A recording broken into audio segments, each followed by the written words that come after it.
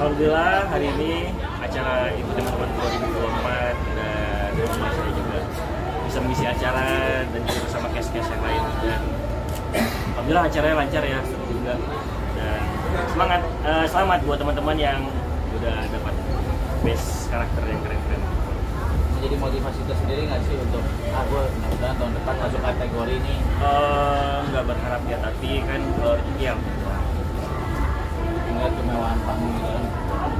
yang pasti panggungnya sangat spektakuler banget ya gitu kan bener bilangnya kan? Bener kan? Dan itu keren keren banget panggung acara acara ketiman tahun ini. Siapa tadi? Hmm, iya. Persiapannya sangat tiba-tiba ya karena JR itu baru tadi banget kalau kayak teman-teman kayak kayak gitu dan lain-lain kan kemarin kalau Saleha Saleha baru hari ini dibolehkan izin karena kadang kita harusnya juga live gitu kan jadi baru bisa latihan tadi dan waktu segmen kedua baca base female karakter itu aku nggak ada JR sama sekali jadi nggak baca prompter dan sama Torik udah kita asal dialog aja udah gitu karena memang nggak suka sama sekali ya gitu. Grogi nggak? Grogi nggak tadi? Oh, alhamdulillah. Alhamdulillah enggak. Ya udah, udah. Diare kan bisa bisa dibilang berantakan. Ada kesulitan sendiri? Hmm, yang kedua sempat panik sih takut takut salah, takut salah ngomong atau nggak enak dan lain-lain. Tapi alhamdulillah diberikan kelancaran juga dan sukses. Gitu. Ayo nanya apa? Jangan tahu. Ayo nanya. gimana gimana nggak apa-apa nanya. Bang Rian udah punya calon lagi nggak sih Bang Rian? doain ya doain ya karena kita kan nggak pernah tahu ya langkah jadi pertemuan maut jodoh kita nggak pernah tahu tapi intinya buat doanya semoga kan jodoh di waktu yang tepat. Tapi tapi udah ada Bang. Udah ada apa? Ada belum. belum ada belum ada. Kalau kriteria kriteria eh, nggak gimana gimana yang penting yang penting yang cocok aja gitu. Hati cocok di semua. Ada target nggak sih Bang? Kapan gitu?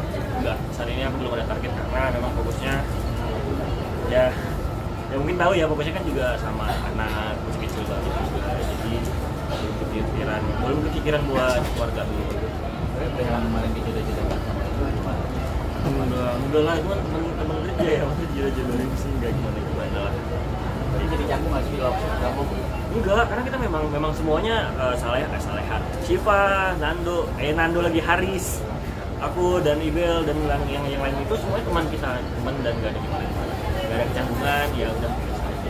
Tapi menikmatin kesendirian seperti apa mbak?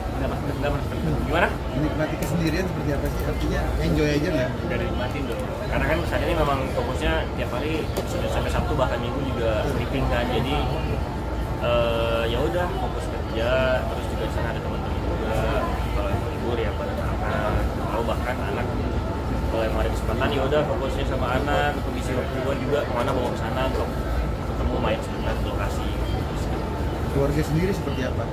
keluarga pada lihat semua Iya maksudnya seperti ini nggak? Maksudnya eh, ngasih support di- biar supaya ada masukan. Eh, intinya saya tetap minta doa yang kepada keluarga semua di Aceh, kepada orang tua pastinya, doa ibu kan juga. Jadi itu aja sih. Kalau yang lain juga kan, hanya minta doanya aja. Tapi ada nggak orang tua yang kayak nyodorin nih, ada nih calon nih. Enggak enggak, sampai sekarang belum ada. Enggak, belum ada nyodorin atau jodohin dan itu enggak ada. Kayak emang kiranya investasi pilihan saya sendiri dan enggak. Gitu. Jadi kan keluarga saya mantap masih. Rian, rencana Rian, rencana mau umroh sama Amina jadi nggak sih? Sama? Sama Amina?